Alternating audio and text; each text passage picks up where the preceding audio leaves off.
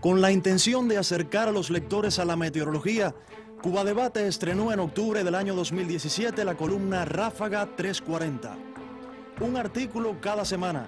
Ciclones tropicales, frentes fríos, récords de temperatura, fenómenos severos como los tornados y las granizadas, tormentas eléctricas, inundaciones costeras, el niño, la niña, en fin, asuntos relacionados con el tiempo y el clima. Hasta la fecha han sido publicados unos 149 textos, incluyendo imágenes de satélite y algunos gráficos. Aficionados y también especialistas del Servicio Meteorológico Nacional, como el doctor José Rubiera, han contribuido con sus conocimientos, precisiones o fotografías a este espacio de nuestro portal web.